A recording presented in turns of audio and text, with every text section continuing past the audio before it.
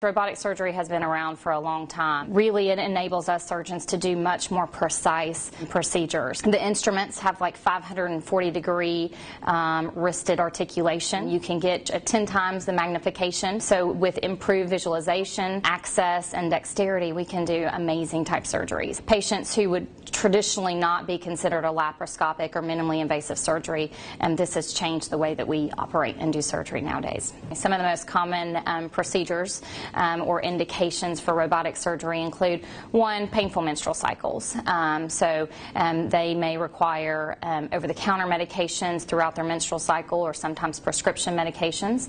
Um, secondly, patients may have heavy menstrual cycles where they're requiring double protections, double protection. and then Another uh, benign indication would be for uterine fibroids. So typically, um, for a straightforward hysterectomy um, that's performed robotically, those patients go home. They spend one night in the hospital and go home the next day. Their recovery time is also half that of an open um, or exploratory laparotomy. So typically, I tell patients about two to three weeks recovery. Depends on their baseline status when they come in. If they're in good overall health and condition, they usually bounce back, um, honestly, within seven to ten days. The incisions are about the width of my thumb for my um, hysterectomies, I usually have about four of those, sometimes five, depending on the anticipated complexity of the surgery. UAB Hospital offers a multitude of different types of surgeons' abilities, whether it's um, from benign surgeries to more complicated cancer surgeries or urologic surgeries with respect to GYN surgery. Um, and so we all work very well together. We many of us have trained together, and I can